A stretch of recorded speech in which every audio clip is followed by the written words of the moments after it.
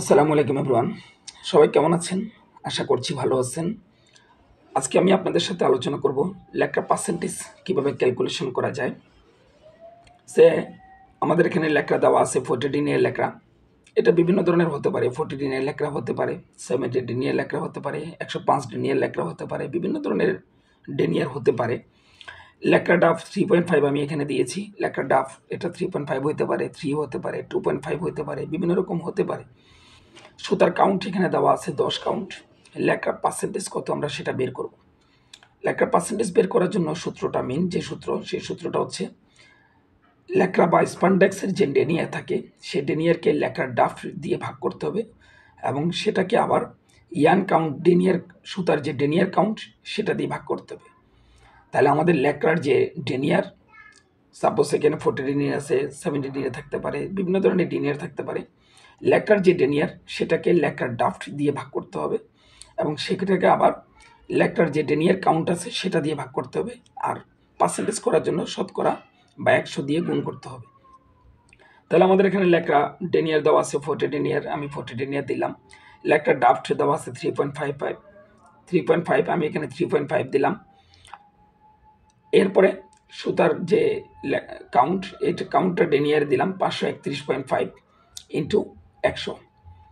তাহলে আমাদের লেখার পার্সেন্টেজ আসলো টু পয়েন্ট ওয়ান ফাইভ এখন সুতার যে ইয়ান কাউন্ট, যে ডেনিয়ার আসছে, পাঁচশো একত্রিশ আছে সেটা আমরা কোথা থেকে পেলাম? পাঁচশো একত্রিশটা পেলাম। আমার যে ডেনিয়ার, সেটা আমি কীভাবে বের করব? ডেনিয়ারের যে কাউন্টটা, সেটা কীভাবে বের করব? ডেনিয়ার কাউন্ট বের করার জন্য আমাদের সূত্র হচ্ছে তিপ্পান্ন পনেরো। এটা হচ্ছে কনস্ট্যান্ট মান। এটা আমি একটু পরে আপনাদেরকে বোঝাচ্ছি। তিপ্পান্ন পনেরোকে যদি সুতার কাউন্ট দিয়ে ভাগ করি তাহলে সুতার কাউন্টের যে ডেনিয়ার কাউন্ট, সুতার যে ডেনিয়ার কাউন্ট সেটা আসবে। তাহলে তিপ্পান্ন, পনেরো ভাগ দশ, এটা দশ কাউন্ট হতে পারে, বারো কাউন্ট হতে পারে, ষোলো কাউন্ট হতে পারে, বিশ কাউন্ট হতে পারে, আট কাউন্ট হতে পারে, বিভিন্ন ধরনের কাউন্ট হতে পারে। আমরা যারা ডেনিম প্রসেস চালাই, আমরা জানি যে এই ধরনের কাউন্টগুলো আমাদের এখানে সাধারণত হয়ে থাকে। এই সুতার কাউন্টকে তিপ্পান্ন, পনেরো দিয়ে ভাগ করতে হবে। তাহলে তিপ্পান্ন, পনেরো দিয়ে যদি দশ কাউন্টকে আমি ভাগ করি, তাহলে আমার দশ কাউন্টের জন্য আমার ডেনিয়ার কাউন্ট আসতেছে পাঁচশো একত্রিশ দশমিক পাঁচ, এটা আমার সুতার ডেনিয়ার কাউন্ট আসতেছে। এখন আমরা দেখব এই যে কনস্ট্যান্ট মান বললাম তিপ্পান্ন, পনেরো, এটা কোথা থেকে আসছে? এই তিপ্পান্ন, পনেরো বোঝার জন্য আমরা এখন আলোচনা করব।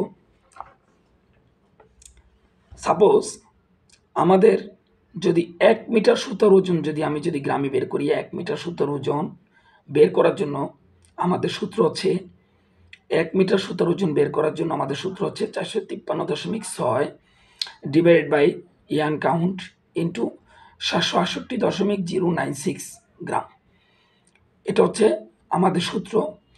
এক মিটার সুতার ওজন এত গ্রাম হবে।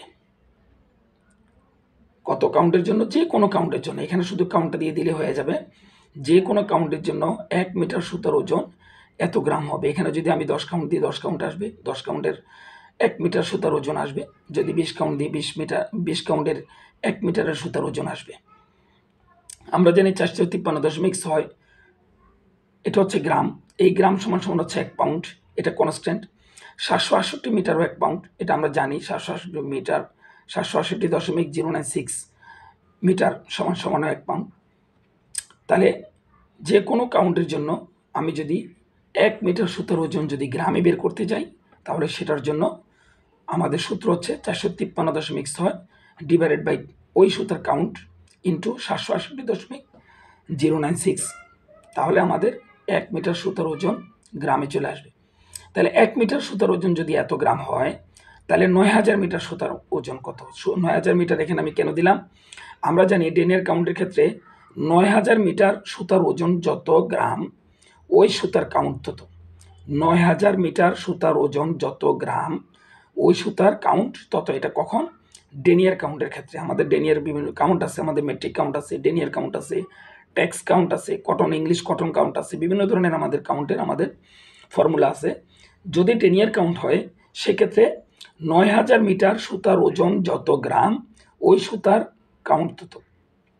তাহলে এক মিটার সমান সমান যদি এটা হয়ে থাকে, এত গ্রাম হয়ে থাকে, তাহলে নয় নয় হাজার মিটার সমান সমান, তাহলে চারশো তিপ্পান্ন দশমিক ছয় ইন্টু নয় হাজার ডিভাইডেড বাই কাউন্ট ইন্টু সাতশো আটষট্টি দশমিক জিরো নাইন সিক্স গ্রাম। তাহলে আমরা কত পাইলাম?